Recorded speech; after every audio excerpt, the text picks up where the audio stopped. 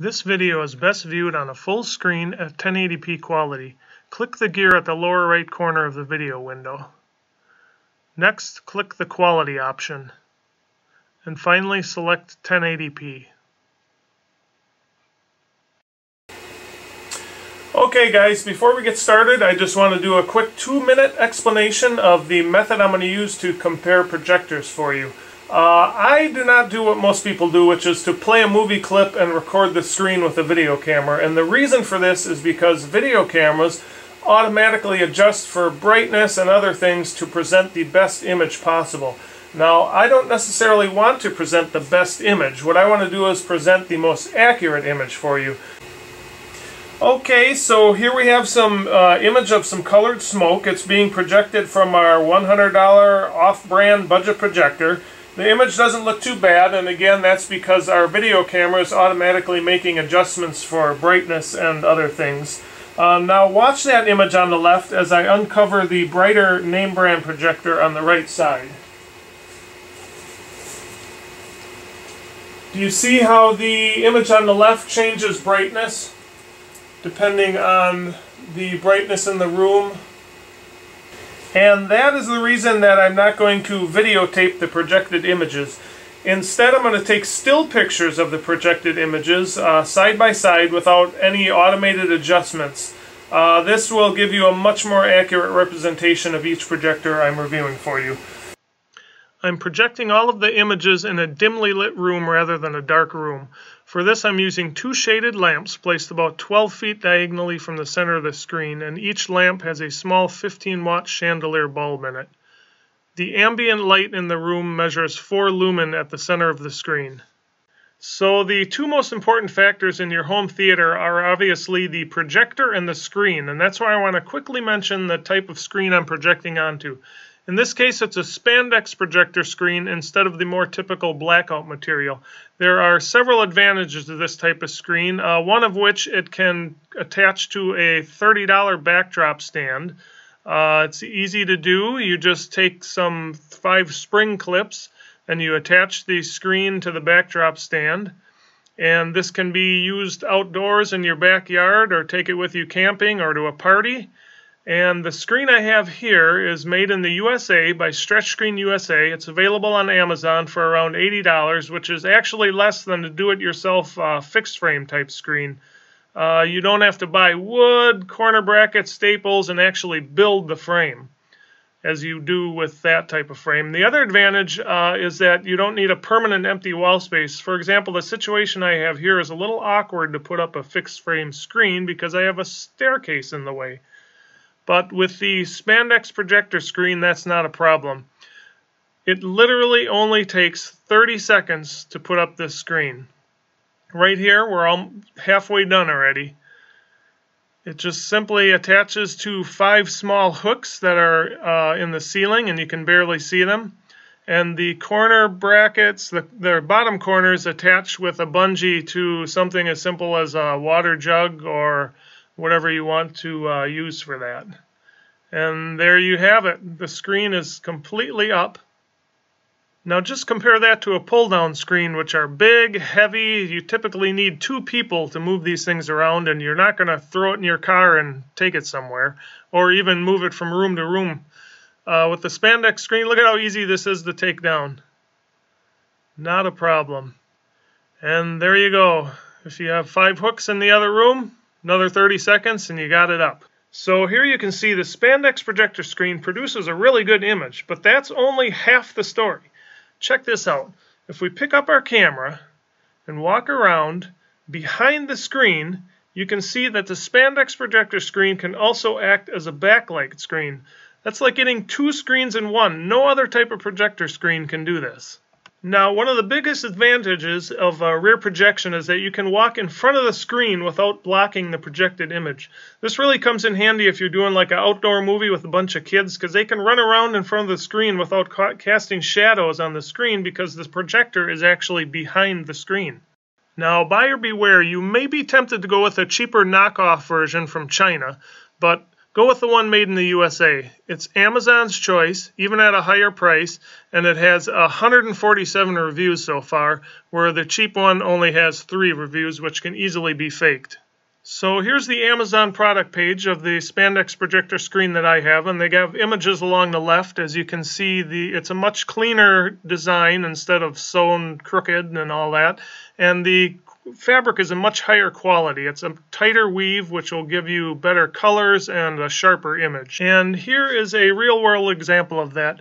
I have the two screens hung side by side with the Made in the USA one on the left and the Chinese knockoff version on the right. And you can really see the difference in the color quality, the brightness, the saturation, and if you look at this next image here, you can actually see how much detail you lose in the smoke due to the uh, looser weave of the cheaper fabric. And in the final example here, just take a look at the stars in the sky. You can see you are almost non-existent in the cheaper fabric of the Chinese knockoff version. So get the Made in the USA screen. If you spent money on a projector, you're going to want a good screen.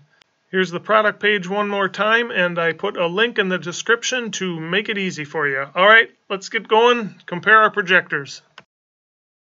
Here you can see the size comparison between the 100 lumen Nebula Capsule 480p projector and the Wowoto H8 projector with a rating of 2000 lumen and a higher 1280 by 800 resolution. One thing to mention is that despite its looks, the H8 projector does not run on an internal battery. It must be plugged into the wall. You will notice the H8 is noticeably brighter, but I wouldn't say 20 times brighter as the lumen ratings would indicate. Let's zoom in on here to compare the pixel quality. And here we have some simple color squares. The uh, H8 has better colors than the Nebula capsule and a higher resolution. You may want to pause this slide to get a better idea. This measures the actual lumen brightness of each color square. This was done in a dark room as opposed to a dimly lit room uh, like we use for all the other slides. Here's uh, zooming in on the colors. Here's another color scale. You'll see the H8 projector has some better purple and red colors, a little bit brighter and more saturated. And one more color comparison. The Nebula capsule has a smoother transition between some of the colors as the arrows show there. And here's some colored smoke on a white background. The Nebula capsule's lower resolution is fairly noticeable here. And if we zoom in on that, you'll see it even more. And some colored smoke on a dark background. Uh, the higher resolution of the H8 produces much more detail. And zooming in on that one, it's very noticeable here. Here's a shadow highlight scale. And we can see both producers produce uh, nice shadow and highlights, fairly similar to, between the two. And zooming in, we can see the higher resolution of the H8 makes a difference. Here's a good high contrast image. The Nebula caps capsule produces a darker image, as you can see in the hair there. And zooming in, the H8 looks quite a bit harsher. Here's a highlight comparison. The H8 produces a sharper image due to its higher resolution. And here we'll check the shadows. Uh, the H8 produces somewhat better shadow detail and a brighter overall image. And we can zoom in to compare that. Here we have a good high contrast image. The H8 produces better highlights and shadow detail. And next we'll compare some grids to show the resolution. The H8 produces a nice even grid pattern. Uh, the lines are thicker and brighter, as we can see when we zoom in. Here's another grid pattern. The H8 retains details of the thin lines better than what the Nebula capsule does. And when we zoom in, we can see the difference here. And one more grid pattern, black on a white background. Uh, the H8 reproduces it more accurate, accurately with more detail, and zooming in we can compare that. And a grid on a black background. Uh, once again, the higher resolution of the H8 uh, reproduces the grid patterns more accurately. And let's zoom in on there, and you can see here. For text, the H8 has a higher resolution, so it produces sharper small text. And we can zoom in to get a better comparison here. For skin tones, both projectors produce good skin tones. They're a little bit different, so it's kind of a personal preference as to which one you prefer. And zooming in,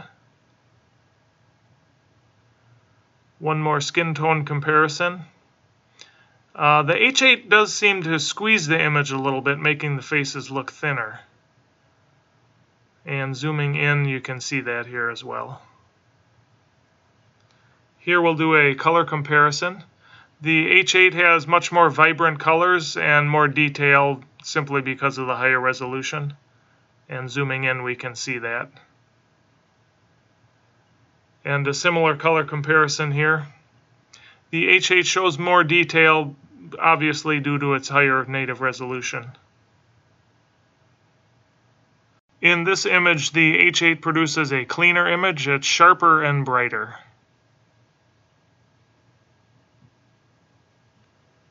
Here we'll do a nice color comparison. The nebula capsule shows less detail uh, due to its lower resolution, obviously.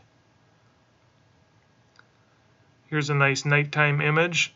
The H8 produces a crisper image. The higher resolution helps that. And zooming in, you'll really notice that here. Here's a good dark room image with high contrast. The nebula capsule is a softer image, not quite as crisp or as much detail. And if we zoom in, you'll see the difference here. This one will compare the contrast. Uh, the H8 projector has better contrast simply because it produces a brighter image overall. And sharper as well as we zoom in. You can see quite a difference. Here's a good nighttime scene. Uh, the nebula capsule again produces a softer image due to its lower resolution. And zooming in you can see that difference between the metal bars. For this image here, the H8 produces a better overall image, but might have a little bit too much sharpening, as you can see around the edges of the clouds. Here's a good nighttime image. Uh, the H8 higher resolution produces more detail, and we'll really notice that in the bolt area here when we zoom in. For this night scene, we will see the H8 projector has higher contrast and brings out uh, more details. When we zoom in on that, you can really notice the difference in the fence, how much more detail you get in the H8. Here we'll compare some of the colors. Uh, the nebula capsule, lower resolution, just produces a softer overall image. And zooming in, we can see that. Here's a hot air balloon at night. Um, crisper image from the H8, higher resolution, of course, uh, explains that. And some fireworks in the night sky. The H8 has much better uh, fine line detail just because, again, the higher resolution. And our final image here, some stars in the night sky. The H8, again, much better details and a brighter overall image. And zooming in, we can compare the stars here. Next, we're going to compare the Nebula capsule to a quote-unquote full-size name brand BenQ projector that's rated at 2000 lumen. You'll learn in some of my other reviews that the name brand 2000 lumen projectors are actually many times brighter than the so-called 2000 lumen budget projectors that sell on Amazon for under $150. Here's a quick brightness comparison between the sub $100 DBPOWER T20 budget projector with a claimed rating of 1800 lumen and the name brand BenQ projector rated at 2000 lumen. From this picture, it's clear that the claims of cheap knockoffs are not always true. I think you'd agree the BenQ projector on the right is much more than 10% brighter than the budget projector on the left. The same holds true for the quality of your projector screen. Here's a quick comparison between a cheap $30 spandex projector screen made in China on the right and an $80 spandex projector screen made in the USA on the left. As you can see, it's worth spending a bit more for the higher quality image you'll get. With that being said, you will remember from the beginning of this video I showed you that I was projecting these images onto a white spandex projector screen. However, if you want to use your projector in a room that's not totally dark, or if you want to use it outside, like in your backyard for an outdoor movie, or take it camping or to a party or something, there are two things you may want to consider, a brighter projector and the darker silver spandex projector screen.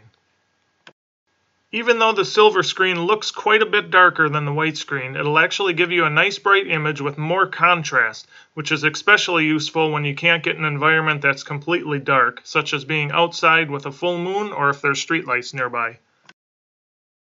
Now the other benefit of the darker silver spandex screen is that you won't have to wash it as often if you accidentally drop it on the ground because you won't notice dirt as much on the darker fabric. But keep in mind, if the spandex screen does get dirty, you can just throw it in the washer using cool water and then dry it for 10 to 15 minutes in the dryer and it's good as new. That's not as easy with some other types of projector screens. And finally, you'll remember when I showed you the rear projection ability of the white spandex projector screen. Well, the silver screen has that same ability. Okay, let's continue with our BenQ comparison. Here you can see the size difference between the 100 lumen nebula capsule with 480p resolution versus the 2000 lumen BenQ 1080p projector. And of course the 2000 lumen BenQ is much brighter than the 100 lumen nebula capsule. Here's an example of the colors with the BenQ being much brighter you can pause this slide if you like. This is the actual lumen measurement of each color from each projector. This was done in a completely dark room as opposed to a dimly lit room like the other slides. And zooming in, you can see the pixels of the lower resolution nebula. Next, we'll show you a few color charts. Both have pretty good colors, uh, the main difference being the brightness between the two projectors. Colored smoke slide, uh, nice color from each one, the nebula being dimmer and more pixelated. Similar image with the smoke on the dark background and similar results.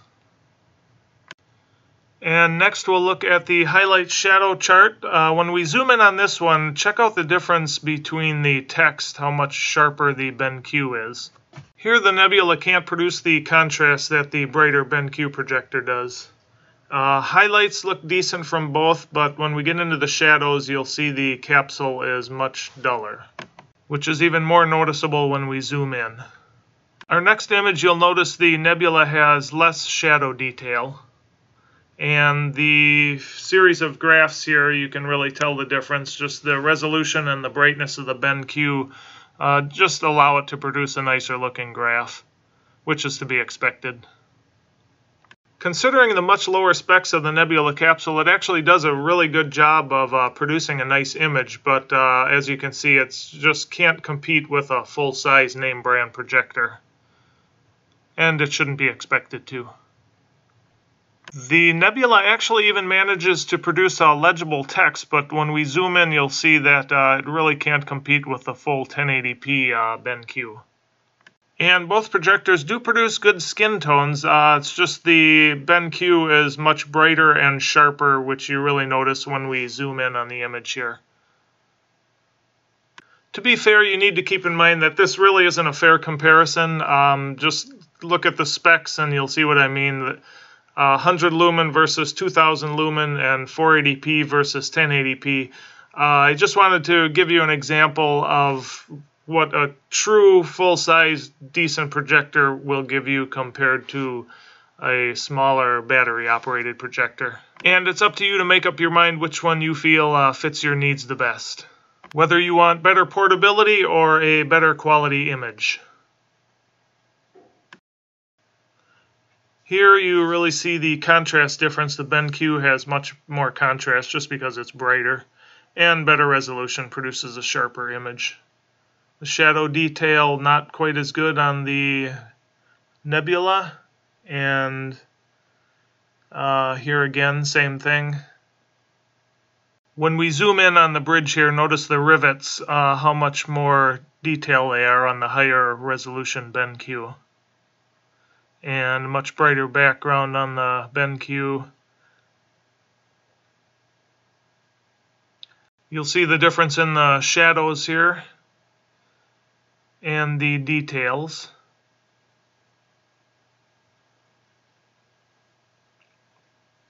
You'll notice the fine line details in the fireworks and our final picture, the stars in the sky.